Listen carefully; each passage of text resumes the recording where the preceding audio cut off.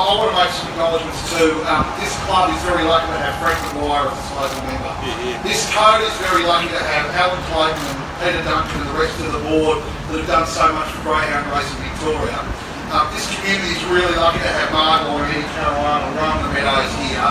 And as a racing minister, I couldn't ask for a more supportive premier than Daniel Andrews in supporting this great code. So thanks to one all.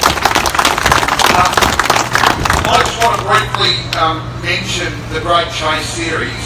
This is an event which since 2003 has raised over half a million dollars for the disability sector and I think it is so wonderful the way that greyhound racing uh, combines with the community um, to raise funds for the disability sector in that way. It's the brainchild of uh, the former chairman Jan Wilson, uh, Eddie and the team here at the Meadows have been fantastic supporters and our community benefits greatly.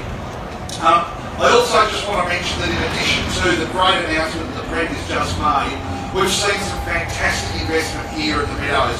Frank uh, launched the big screen not so long ago. That was $167,000 investment.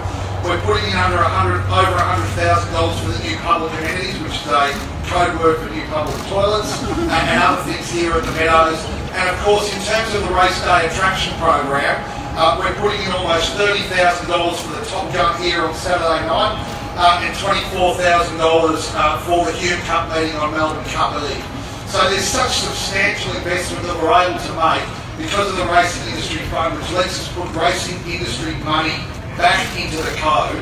Uh, and it's just a demonstration of the fact that, as the Premier says, our government is the strongest supporter of any greyhound racing code anywhere in this country we will continue to be so. And under the fine leadership of people like Alan Clayton and Mark and Eddie, this code has an extraordinarily strong future. Thanks one and all.